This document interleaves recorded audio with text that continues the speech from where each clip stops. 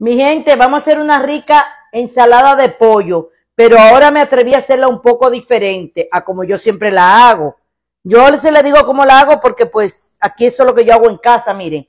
Esta pechuga ya yo la tenía ya, ya sazonada y le voy a echar media cebolla.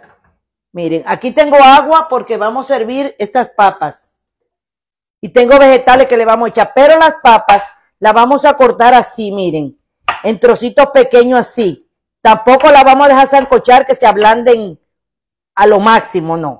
Las vamos a poner a zancochar como que queden un poquito duritas, no, no, no hasta el tope de, de zancochada, no. Y le vamos a echar un poquito de sal y ahorita ustedes van a ver qué rica ensalada de pollo vamos a preparar un poco diferente a la que yo siempre hago. Miren mi gente, aquí tengo las papas, miren picaditas así. Se la vamos a echar al pollo desmenuzado. Le vamos a echar vegetales, miren, que es zanahoria, eh, maíz y, y de esos pitipoa, como nosotros le llamamos pitipoa en mi país. Removemos un poco todo eso, miren. ¿Ve? Ahora le vamos a echar el perejil, el cilantro con la cebolla. No le eché mucha cebolla porque a la chiquita de aquí no le gusta mucho la cebolla y nada más le eché como para que le diera un saborcito a cebolla. Miren. Luego vamos a sazonar con un poquito de pimienta molida. Le vamos a echar un poquito de ajo. Vamos a remover todo eso y le vamos a echar poquita sal. Ahorita se prueba a ver cómo, cómo está. De sal, como las papas tenían y los vegetales le eché un poquito y el pollo pero no, no está, a ver cómo está. Bueno, seguimos aquí a este bol aquí y vamos a preparar.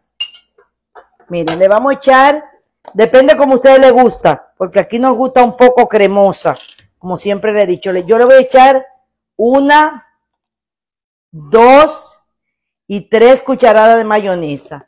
Le vamos a echar un poco de mostaza, miren así. Y luego le vamos a echar como una, un poco de esta salsa inglesa, miren. Le vamos a echar como un poquito, no mucho.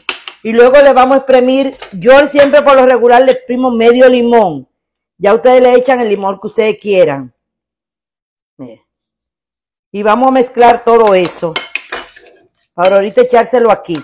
Si ustedes ven que está muy poquito, échenle más mayonesa porque a mí me gusta cremosita y la veo poquita para echarle esta cantidad de, de, de pollo y vegetales que tengo aquí. Y mira, ahora le vamos a echar toda nuestra mezcla aquí y vamos a, a mover bien.